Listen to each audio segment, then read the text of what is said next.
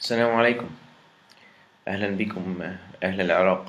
إن شاء الله تبقوا بخير وفي أمان في الأوضاع اللي إحنا فيها الكورونا فيروس بانديميك أنا اسمي الدكتور أشرف رفاعي ويعني يحصل لي شرف النهاردة إن أنا عم هدي كده فقرة بسيطة على ال عراقي دنتال كلينكس طبعا دعوة من الدكتور مصطفى يوسف.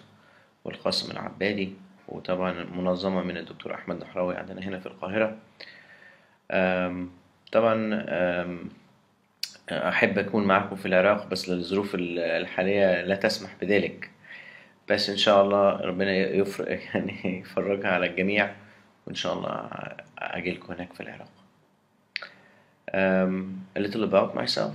أنا I'm an associate professor of endodontics I've been practicing endodontics for about 25 years um, I, um, أنا بشتغل في كلية طب أسنان جامعة الأزهر قسم علاج جذور I'm a former head of department الحمد لله and uh, the screen in front of you right now um, has all my contact information my emails my blog and you can scan the QR codes uh, to join my personal page or my uh, um, uh, formal page. Okay, the topic for today is um, how to deal with instrument separation. And we need to define the difference between instrument separation and fracture. Fracture, فعل فاعل. Separation, it just happened. مبني للمجهول. So um, when you come to inform your patient about a fracture, you should uh, always say the instrument separated mesh, it was fractured.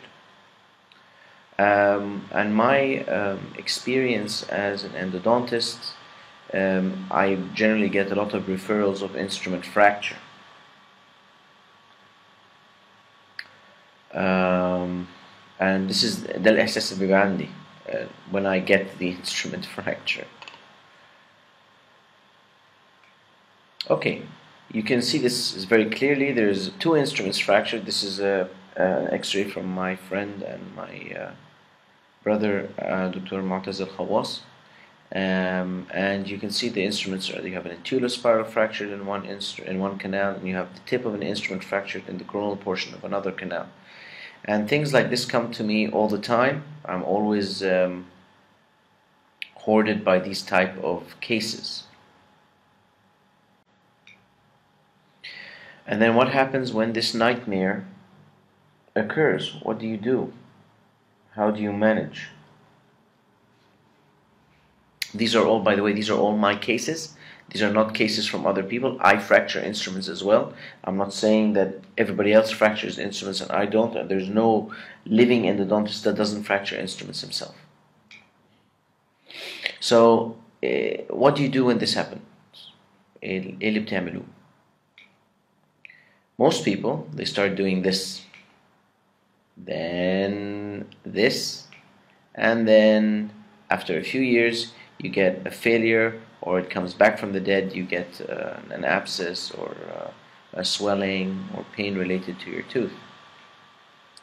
Now I'm going to start by by showing um, one case. This is my this is a 32 32 year old patient. Um, she had a lower premolar. You can see it right here, and the lower premolar had complex anatomy. It had um, very long roots and very severely curved root here.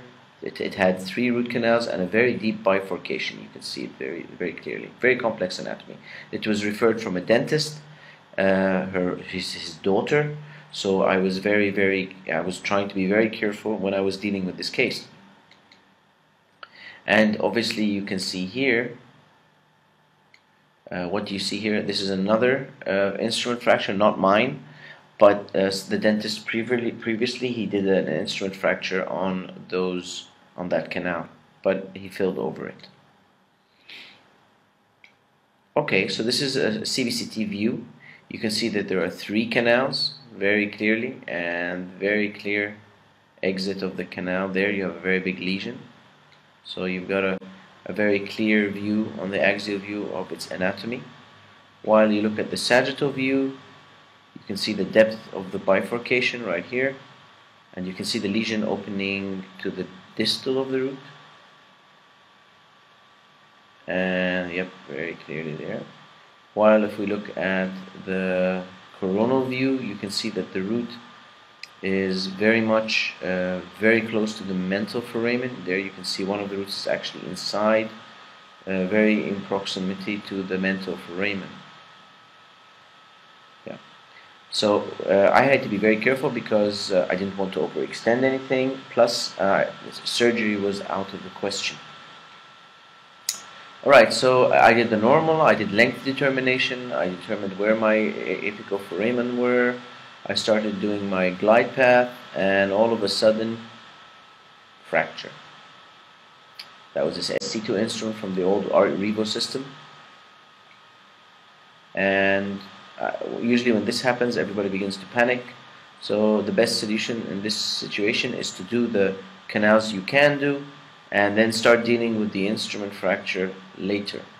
So that's what I did. I obturated the other two canals and I started doing my final canal. Uh, here I had a bypass attempt. I was lucky. I bypassed. And this is the situation um, Im immediately post-operative. You can see here that this, you think this is uh, actually a root the exit of the canals are to the distal and you'll see that in the post-operative x-ray with the healing because all of the lesion is on the distal surface of the root and not at the tip. And you can see this is immediately post-operative. You can see the lesion here and here after two years the apical area is no longer inflated it has no there's a continuous lamina dura but you can see there's a slight widening of the periodontal membrane space to, at the exits of the canals, but definitely an improvement from the pre and the post-operative. Very clearly you can see here um, a very large lesion and here nearly normal. This uh, restorative work uh, was done away from my clinic. I don't know what happened here. I think somebody perforated while creating a post space but this patient came to me two, two years later. Okay, so what are the possibilities if this happens? You have trilate removal محاولة انك تشيل الفايل من مكانه bypass تعدي من جنبيه apical surgery جراحة تشيل ذروة الجذر and uh, to obturate over it أو تردم عليها وتحشي عليها so the question is here why not to obturate over it um, and this is this is very important because a lot of dentists believe that this is an option. We've been teach a lot of been have been taught this at uh, their primary dental education during their primary dental education, and this is this has to be changed a little bit because we have to understand that the problem is bacteriological in nature. We we measure uh, bacteria in the microns, one micron, two microns, and if we look at the canal diameters and sizes and spaces, for instance, a, a size number eight file is equal to 800 microns, while a size number 40 file is equal to uh, 4000 microns. So you can imagine the amount of bacteria that can be in this 800 microns, not to mention that the canal tapers, there's irregularities in the canals, there's um, dentinal tubules, there's, there are um, isthmuses, fins, irregular spaces which cannot be touched with our instruments. And this has been proven time and time again, just like the O.V. Peters study. So argument number one that we were taught at university was instruments separate at the apex, so um, they are as if they were obturation. The argument number two is the instruments separate after canal preparation, so I'm sure that there are, I've cleaned the canal, so it doesn't make a difference. These are the two arguments. So for instance, this is an instrument which I fractured, um, and you can see this instrument is fractured within the canal, and what do you see over here? Space. These instruments are not solid and they're not compactable. So these flutes have the possibility of harboring bacteria, this flute space.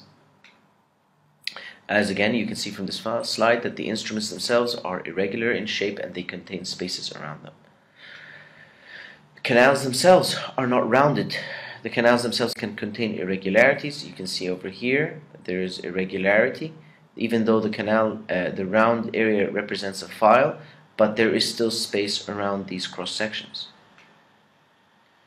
And we've seen from studies like the Verna study and um, that this is a micro CT study of the maxillary first molar teeth, the mesiobuccal root, and you can see that the extent of complexity of these canal systems, even if you could get into one of these canals, two of these canals, physically it's nearly impossible to manually um, negotiate a canal system. So we rely heavily on irrigation and hydraulic pressure during obturation to fill these irregular shapes. Um, even again, these are these are studies from 2018, 2016, relatively uh, um, old studies. But no matter what the studies, these were all antibacterial studies done on on canals, and to see how much how effective uh, cleaning techniques, activation techniques, and um, preparation techniques can reduce uh, the the the, um, the the amount of bacteria within the canal systems, and none of these systems, none of these papers reported a complete sterilization of the systems. Yes, a reduction, but complete sterilization is nearly impossible. So there is always going to be uh, an amount of remnant bacteria within the canal systems, which we try to keep under control by obturation and prevention of these uh, this bacteria um, uh, pushing itself into the apical area again. So which one should you choose? Obviously obturating over it isn't an option, so you're left with trilate removal, bypass and apical surgery. The bypassing is definitely the treatment of choice. Whenever I have a chance, كل ما يبقى عندي اختيار ما بين ان انا اشيل الفايل او اعمل bypass انا بختار البايباس. Um, I know that the emotional decision الرد العاطفي is that you want to get that out of the x-ray you don't want to see that anymore you want that file outside and you don't want it in because you feel um, that it, it will affect your um, image of the of the of, of your post-operative it's it's uh, some sort of uh, uh, um, ihana or insult to you to leave it in the in the in the canal even if you bypass it so as, as a start I would suggest doing a, a bypass and that is what is in your patient's best interest. So why? First of all, bypass is less traumatic. Any removal system, uh, any removal technique involves removal of dentin and damaging of the root canal system. Um, it's it's less expensive. You don't have to buy spe- uh, specialty equipment. You use minimal technology. Basically, you use files. And sometimes, if you're lucky, the instrument pops out without any effort and the need for expensive equipment.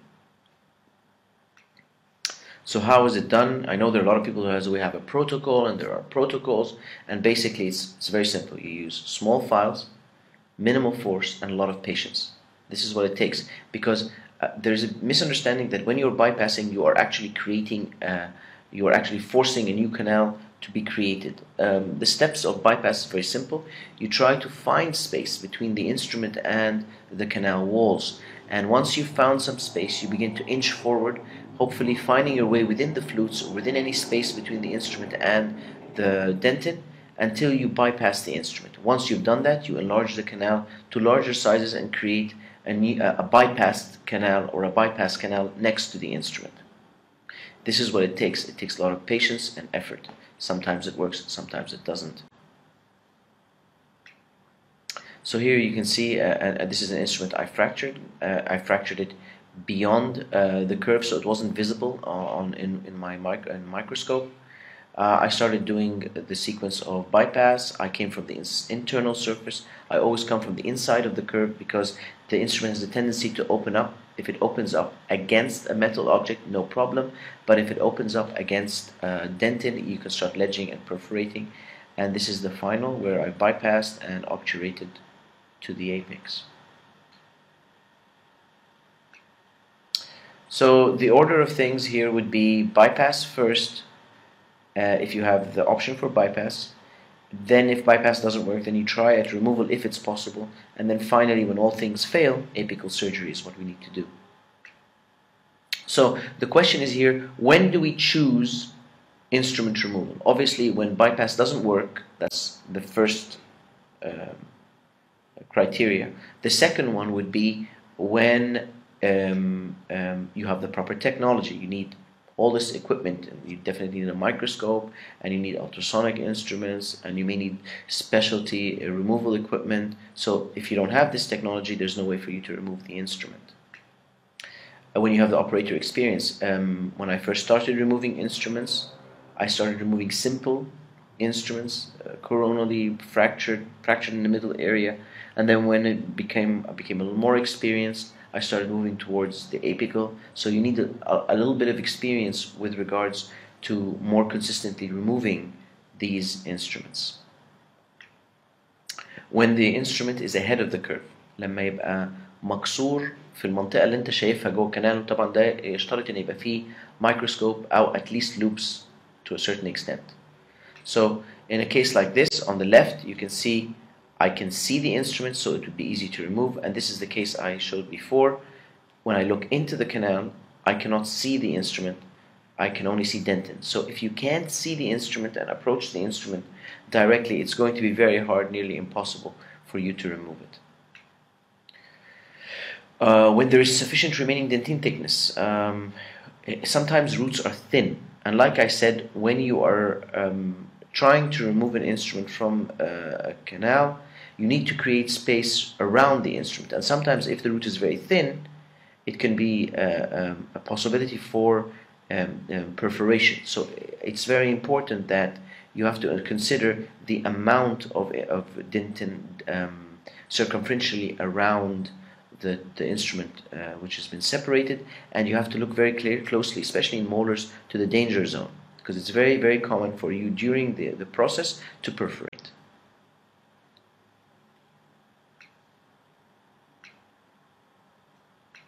There you go. You can see the difference in um, the diameter of the roots from coronal to middle to apical. Alright, so what influences the success of my uh, ability or my ability to either remove or not remove uh, instruments? Number one, the position of separation. Uh, the more coronal the instrument, the easier it is to remove. The further you move apically, the more difficult it is to remove.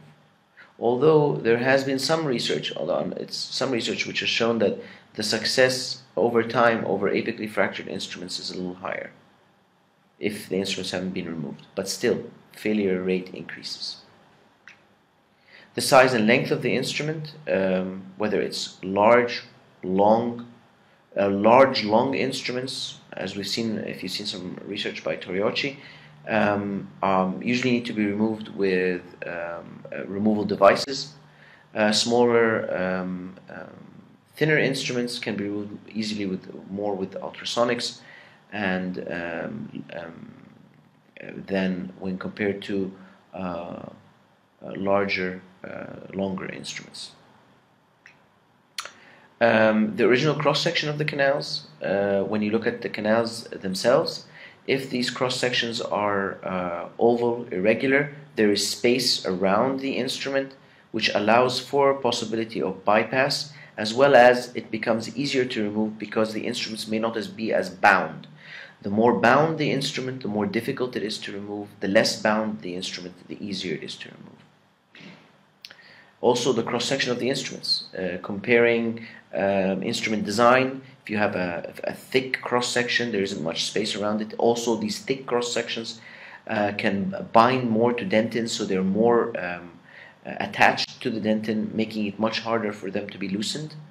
Uh, while if you look at the different flute designs, if you have a design of a flute which are tightly wound, the number of flutes in contact with the dentin will increase and the amount of space around the file will decrease.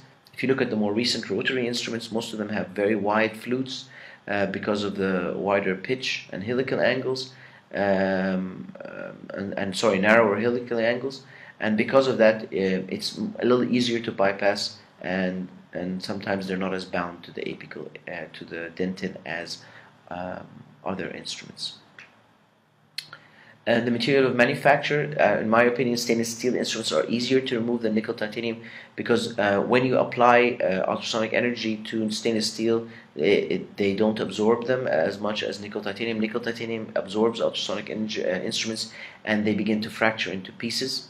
So for me, uh, stainless steel instruments are, are a little easier, Also because most of the rotary systems made out of nickel titanium have a, have a larger taper, so they're more engaged in dentin compared to uh, ISO standardized stainless steel instruments.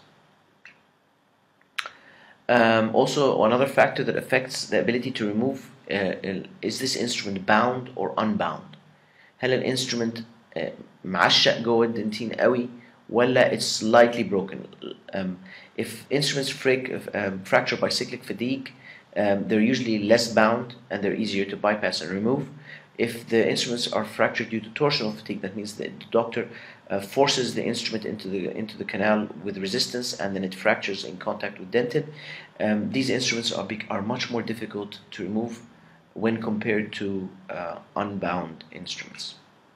So this is, for instance, an instrument, a, a, a, case which I had done. This patient was referred after the dentist tried to remove the instrument. Now, if you look very closely here, I'm going to magnify. You can see that the instrument looks like there is space around it. So it should be easy to come out. This is probably an H file. You can see, you can recognize the shape of the, the file from the from how big it is. It was a very large file. I think maybe a size 45, and the instrument was fractured and it was very. It looked really loose. I tried to bypass and I couldn't bypass at all. The, the previous doctor tried to create space using a tapered stone. You can see even the shape of the tapered stone here. It's very clear.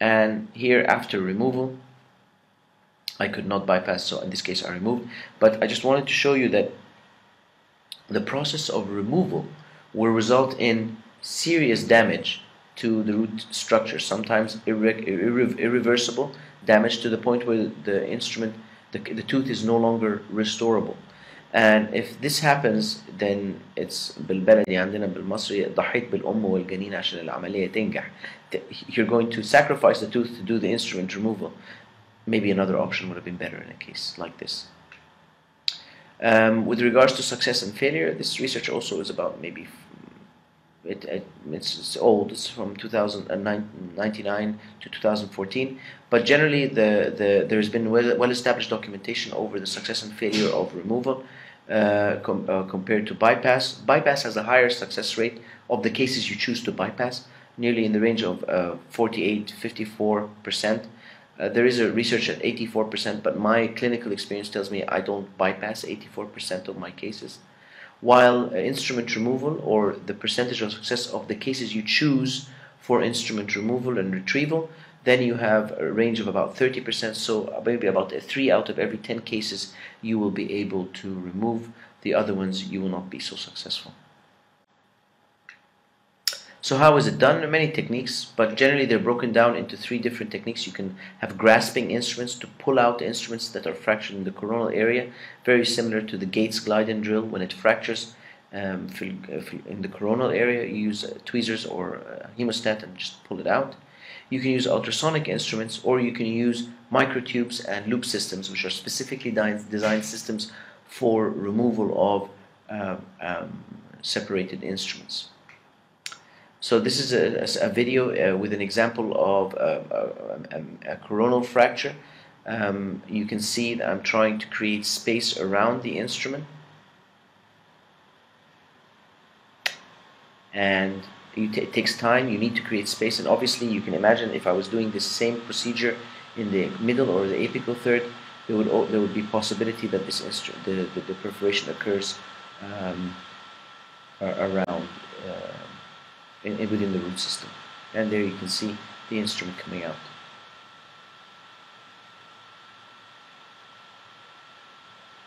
Yeah, very clear. There you go. Okay, and then there could be, there are specific instrument systems. You have, like I said, loop systems which depend on a wire which uh, strangulates the, the, instrument segment and attaches to it and you pull it out. Or it can be in the form of a, of a tube, a tube which is like a, a metal syringe with a hollow area which um, attaches onto the top of the instrument and then is engaged with uh, um, some sort of uh, mechanism from inside the loops, uh, from inside the, uh, the tube system. The, an example of the tube system would be one like this, um, and then this is an example. The tube system basically uh, has uh, a tube with an attachment. The tube places on side the instrument, and then there is an, an button you press which pushes a, a metal extender that engages the instrument and it attaches to it and you just pull it out. While in the case of a loop system, it, it's the form, it's, it's like a loop uh, which uh, you engage on the instrument so it holds it and you pull it out. This is an example of the loop uh, engaging with uh, an instrument. This is the Terauchi system. Okay, and sometimes, sometimes things don't come out. These are cases which instruments have been pushed out into the apical area or have not been retrievable, whether it be in the apical or in the middle or the coronal. In this case, you need to think about surgery, whether it be replantation surgery, apical surgery, but um, doing it orthograde may not always be feasible or may not always be the solution.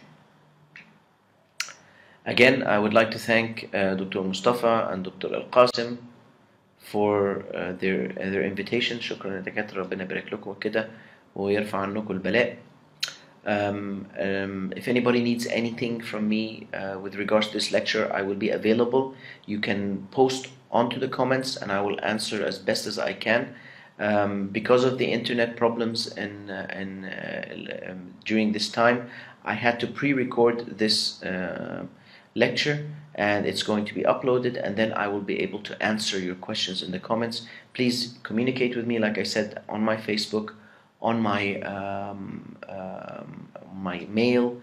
Please at any time I will be there and I can answer any of your questions. Thank you so much. Assalamu alaikum